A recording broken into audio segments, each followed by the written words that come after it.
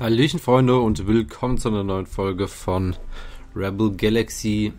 Ich habe gerade äh, das Geld von der letzten Mission abgeholt und ich würde sagen, wir machen einfach da weiter, wo wir aufgehört haben.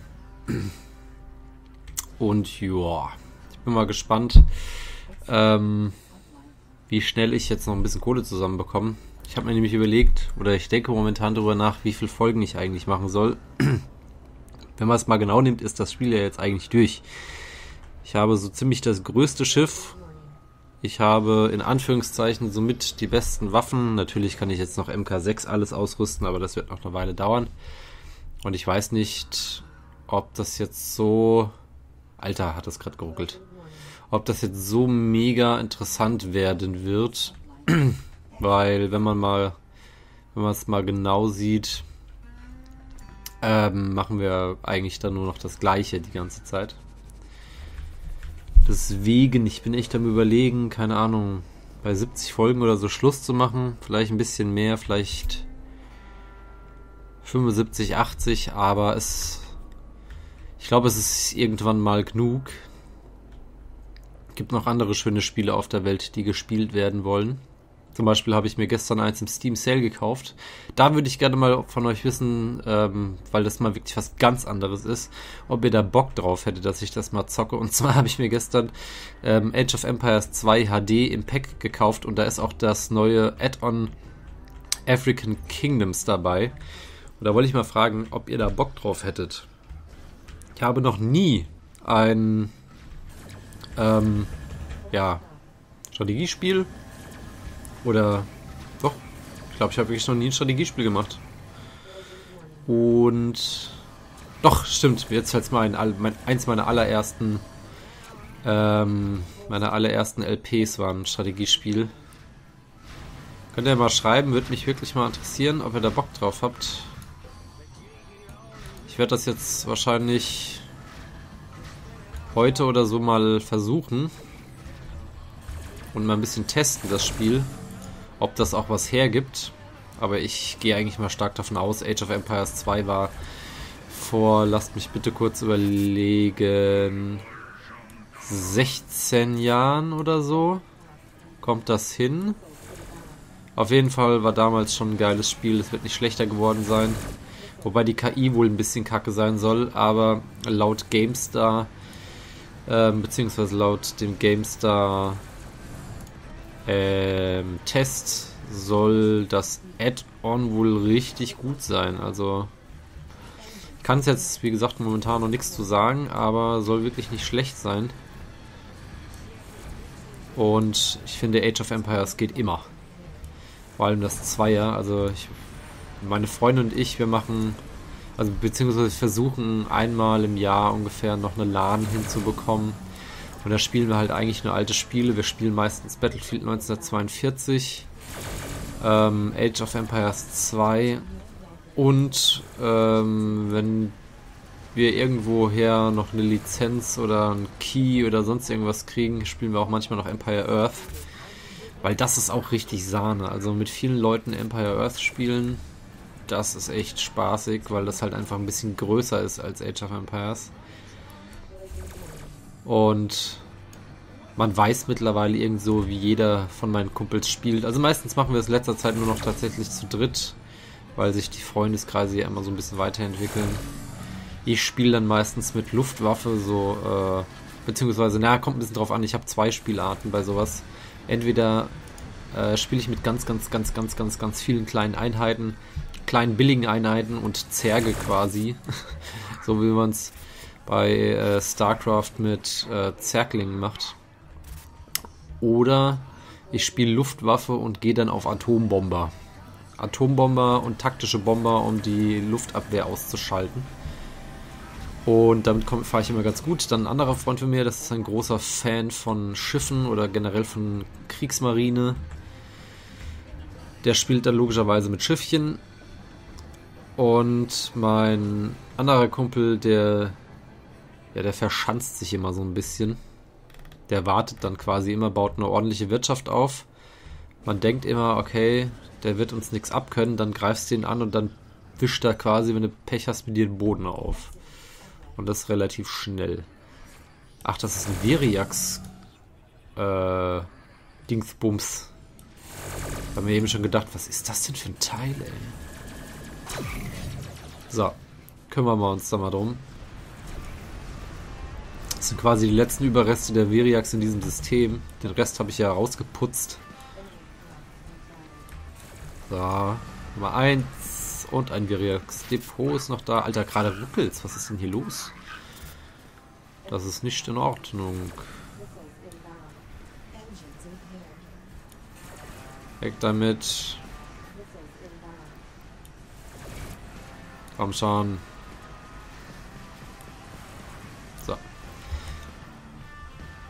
Hier sind ganz schön viele kleine Schiffchen gerade unterwegs. Wo kommt die denn alle her auf einmal?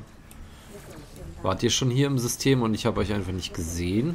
Weil ich mal wieder zu faul war auf den...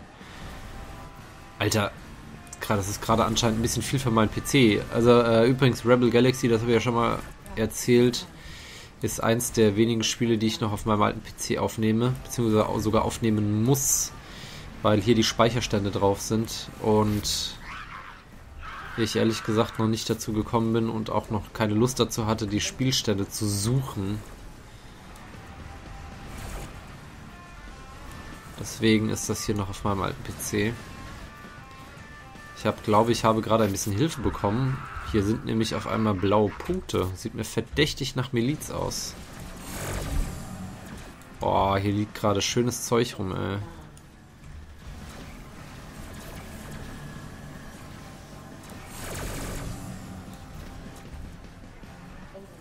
Bin ich hier eigentlich schon durch? Fällt mir gerade mal so auf. Oder muss ich hier noch irgendwas zerstören? Nein, ich bin noch nicht durch. Sieht mir verdammt... Alter, du bist ein dreckiger Bauer. Warum hängst du denn... Sowas kann ich überhaupt nicht leiden. Warum... Warum hat er sich denn an mich dran gerammt, der Idiot? Ich nehme jetzt einfach mal alles mit, was da ist. Einfach alles aufsammeln. Der ist zu weit weg, kann das sein? Ah, muss ein bisschen näher ran. Space Slaves, die nehmen wir doch glatt mal mit. Auch wenn ich nachher bestimmt wieder Stress mit der Miliz bekomme, aber was willst du machen? Boah, der ist schnell. Beziehungsweise mein Schiff ist langsam. Ich bin ja echt am überlegen, ob ich, ähm, bevor ich dieses Spiel hier beende im Let's Play, ob ich nochmal irgendein schnelles Schiffchen ähm, komplett mit anderen Ausrüstungsteilen ausstatte. Irgendwie es gibt ja noch dieses ominöse Rammschild. Dann quasi alles so so bauen, so Hit-and-Run-mäßig. Schnell ran, schnell wieder weg. Und während ich nah dran bin, so den höchstmöglichen Schaden verteilen. Muss ich mal überlegen, was dazu alles notwendig wäre. Scheiße, das Ding ist viel zu klein, ey. So, weg damit.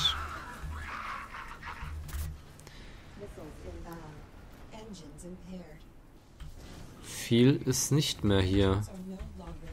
Doch, da ist noch irgendwas großes Rotes, habe ich gerade gesehen. Der ist zu weit weg.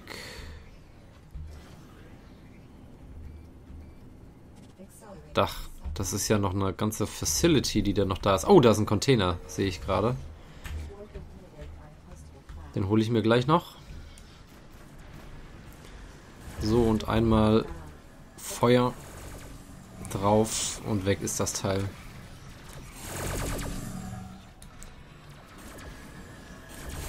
So.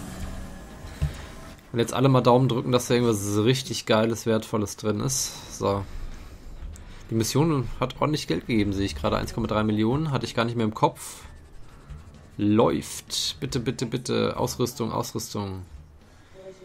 Ist ja wohl ein Scherz.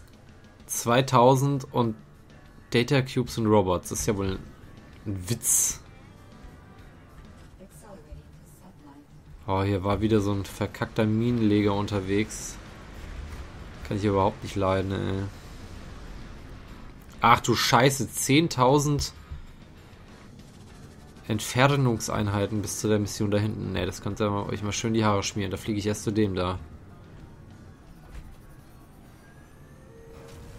Das ist ja wohl näher. Viel näher.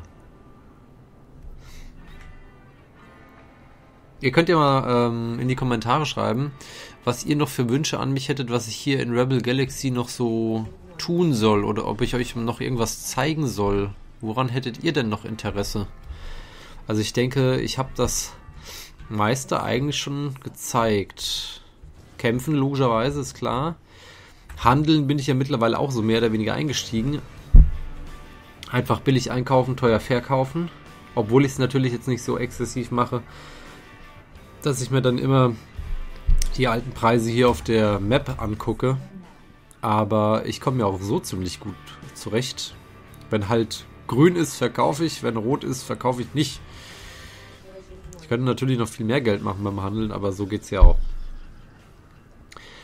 Das Einzige, was ich euch noch nicht wirklich gezeigt habe, weil ich da ehrlich gesagt auch noch keine Ahnung von habe, ist Mining. Aber da könnt ihr mal in die Kommentare schreiben, wollt ihr mich mal meinen sehen?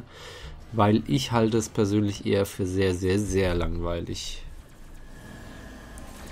Genau wie bei X muss man sagen, dauert es extrem lang, bis man da mal eine halbwegs verkaufsfähige Menge gemeint hat. Deswegen, also wenn jetzt irgendwie fünf Leute sagen, oh doch, zeig mal, geh mal meinen, geh mal meinen, dann mache ich das natürlich auch gerne, aber würde für mich persönlich jetzt erstmal nicht irgendwie auf einer Liste ganz oben stehen. Aber wenn ihr das wollt, kein Problem.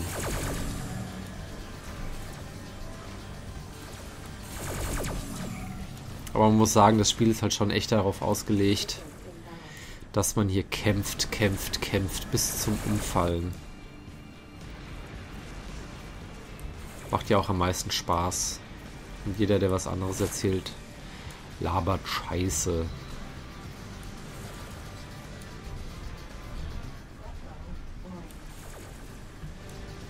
Aber ich habe heute, warte mal, wann war das heute? Oder gestern Abend habe ich einen Kommentar gelesen, dass es, ich weiß auch nicht mehr, wer es geschrieben hat, ähm, mir wird es besser gefallen mittlerweile als das X-Universum. Gut, man muss ja sagen, also X haben sie ja vor allem auch mit X Rebirth quasi getötet, Gnadenstoß gegeben. Ähm ich finde, man kann die Spiele nicht hundertprozentig vergleichen. Bei X hast du halt ein ganz anderes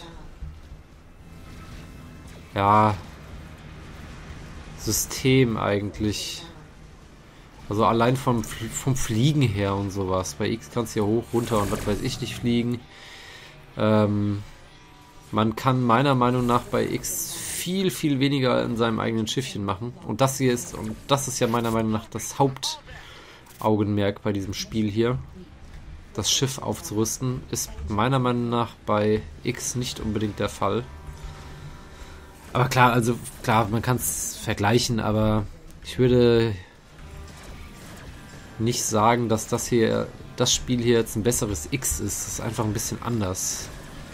Aber ich muss sagen, mir macht es auch mehr Spaß als X. Also da lässt sich nicht dran rütteln. Was sie aus X gemacht haben, ist nicht mehr feierlich. Ich bin mal gespannt, wie lange X auch noch weiterentwickelt wird. Und ich bin auch mal gespannt, ob hier bei Rebel Galaxy irgendwann noch was dazu kommt. Ähm, sei es von mir aus eine weitere Karriere oder Kampagne oder wie man das nennen will. Multiplayer wäre halt der Hammer. Weil das Spiel kannst du super gut in einem Multiplayer-Universum spielen. Genauso wie X im Prinzip. Also da hätte ich nichts dagegen, wenn sie sowas nachschieben würden. Aber es gibt so viele Spiele, wo ich gerne einen Multiplayer drin hätte. Aber er wahrscheinlich niemals kommen wird. Wobei, man soll niemals nie sagen. Bei... Lass mich kurz überlegen. Was ist ein gutes Beispiel? Sir, you are being hunted. Leute, die schon ein bisschen länger bei mir auf dem Kanal unterwegs sind, die kennen das vielleicht noch ganz gut. Ähm, das war eine ganz große Geschichte. Das hat mir auch echt Spaß gemacht. Da gibt es mittlerweile auch einen einen Multiplayer-Modus. Da wollte ich eigentlich auch Videos von machen, aber als ich den dann ausprobiert habe, muss ich sagen, fand ich den nicht so wirklich prickelnd. Deswegen habe ich es gelassen. Aber da gab es auch irgendwann Multiplayer, obwohl es anfangs, glaube ich, hieß, ja, vielleicht, vielleicht machen wir einen, aber vielleicht halt auch nicht. Ähm, aber hier könnte ich mir echt gut vorstellen. Schöner Multiplayer, einfach nur ein bisschen gegeneinander brawlen. Von mir aus auch so ein bisschen MOBA-like.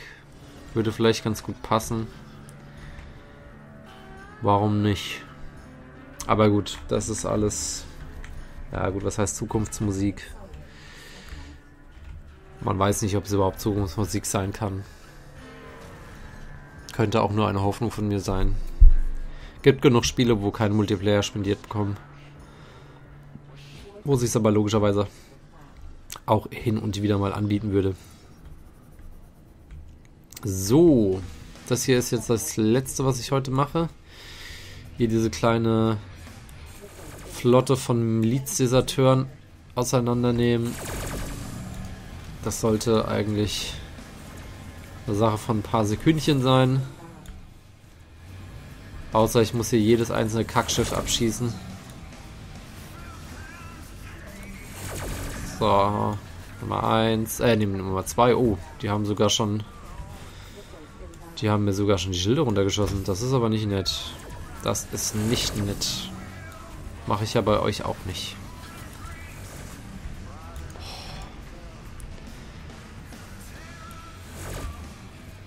Aber die sind echt nicht mehr interessant eigentlich für mich. Es gibt keinen, wo ich sage, oh nein, oh nein, habe ich Angst. So. War's das? Jupp, das war's. Das ging schnell.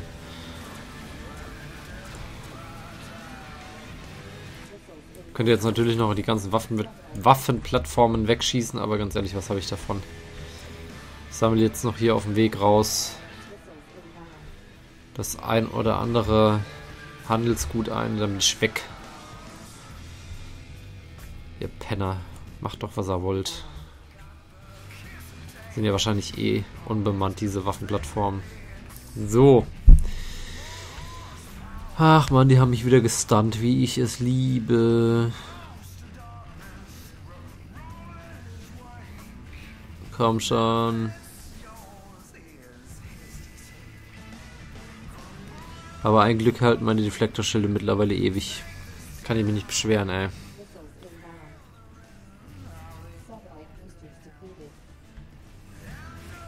So. Und jetzt würde ich gerne springen. Geht aber noch nicht. Komm, ich habe doch schon ewig keine Ionenrakete mehr abbekommen. Weg hier. Lasst mich doch einfach alle in Ruhe. So. Immer noch. Jetzt geht's. Tschüss. Und damit auch bis zur nächsten Folge, Freunde. Tschüssi.